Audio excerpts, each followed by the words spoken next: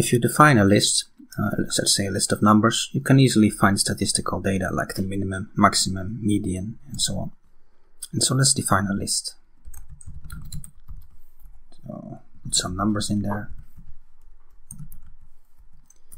Now to find the minimum, we can simply type min scores and print it. Now you can also do that for um, the maximum and the okay and the maximum. Now you can also get the the median. So you'll have to import the statistics module and say median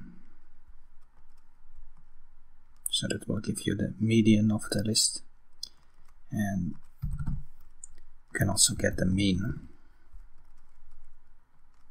So if you want to show all of them you'll have to import it like this. Say mean um, median and the maximum. So that will show all of them given the list.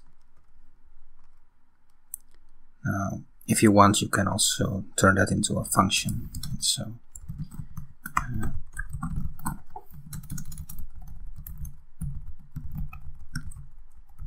now given this function it will show uh, the values. So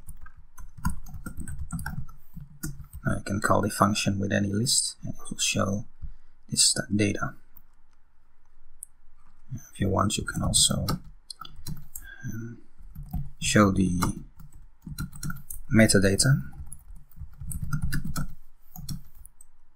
And you'll see that now if you run it it will actually want text output. So these are numbers and not text. So you'll have to convert that to text. So strings are text. Use the str function to convert numbers to text now if you do that for all the numbers now run it you'll see we have the the data and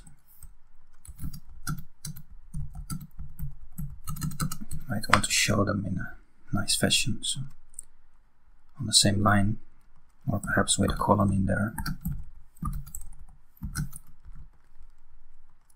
So there you go you've got the values statistical values of this list. And this function now works with any list so if you have another list um, you can then call it call the function and it will do the same for that list